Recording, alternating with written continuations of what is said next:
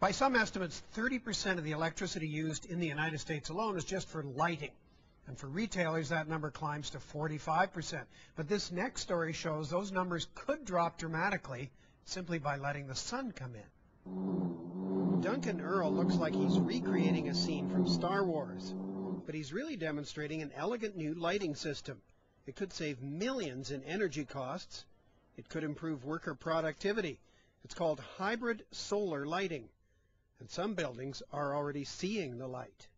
We're here on the rooftop of the American Museum of Science and Energy in Oak Ridge, Tennessee, where we are installing a solar collector that's part of Sunlight Direct's HSL 3000 system.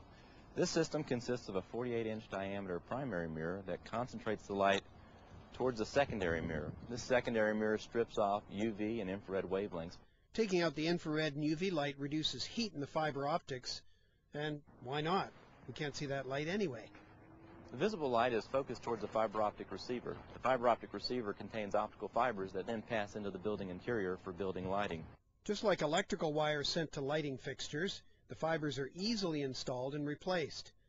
Unlike fluorescent lights that require energy, the hybrid solar system only needs one 9-volt battery to power the solar tracking system for a week.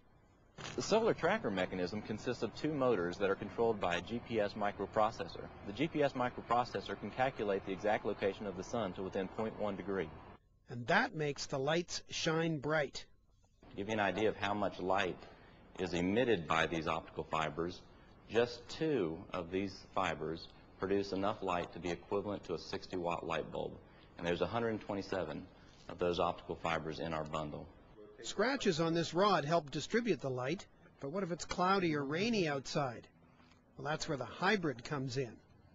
The lighting fixtures blend the sunlight with the artificial lamps from fluorescent or incandescent lamps uh, to create a hybrid luminaire.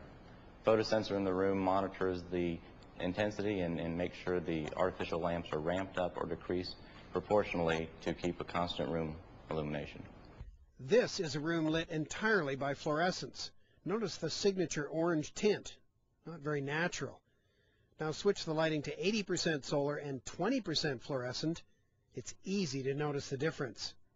For most retailers, for example, hybrid solar lighting can reduce their energy bill by 60%. Duncan envisions retail stores as being the first adopters of the technology because of the health benefits of natural lighting. Studies have shown that 20% of workers suffer symptoms of depression from seasonal affective disorder. SAD. What's more, retail stores with natural lighting sold 40% more merchandise than stores with artificial light. There have been a number of studies that have shown uh, biological rhythms, like circadian rhythms, uh, are key to, to having successful and uh, productive employees. So bringing in the natural light that helps regulate these biological processes is an important component. The technology has so impressed researchers at Oak Ridge National Lab that they're looking at other applications, like tapping the ultraviolet light energy and more. We're looking at hot water heating as an exciting new opportunity uh, for our system. We're looking at IR heating and hydrogen production. But there is one limitation to the technology. The major limitation with hybrid solar lighting is currently the optical fibers. The plastic optical fibers are very low cost, but they're also very low transmittance, which means we can only run between 30 and 50 feet from the solar collector. But neither Duncan nor Melissa see that as a problem. They expect to focus on the top and main floors of a building. The potential energy savings and CO2 reductions for utilizing hybrid solar lighting systems just in the Sunbelt region of the U.S. is approximately 20 billion kilowatt hours per year and 1.5 million metric tons of CO2 reduction per year. That's equivalent to powering New York City for five months. So when could you buy a system for yourself? Well, it's not as far away as you might think.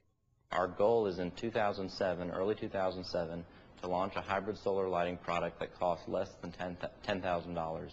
And that price should come down considerably as volume increases. A, a system like that would light about a thousand square feet and would be designed to last 20 years. But for Duncan, the greatest benefit is making our workspaces as natural and as human as possible. When you come in in the morning and you're tired, you, and you've got your coffee in your hand and you're not quite awake, uh, you like seeing the reddish glow that was uh, the same type light as outside. Uh, and then as you start working throughout the day and that turns to a whitish color and you wake up, uh, sort of the sunlight and yourself wake up together. And then at the end of the day when there's a reddish glow, uh, you know it's time to go home.